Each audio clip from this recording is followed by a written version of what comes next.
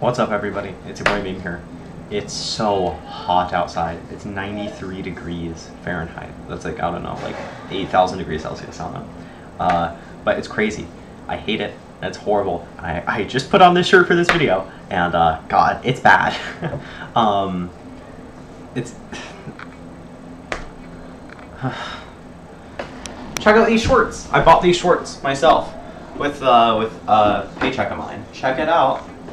I have keys in my shorts. Hold on.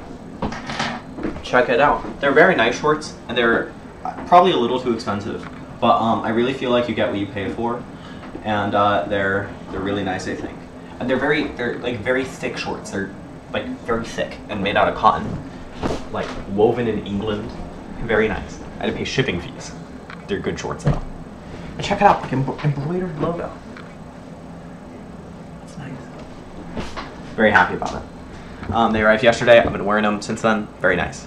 Uh, for breakfast, I had a cheese bagel. For lunch, I had a, the mess sandwich at work. And for dinner, we had a salad.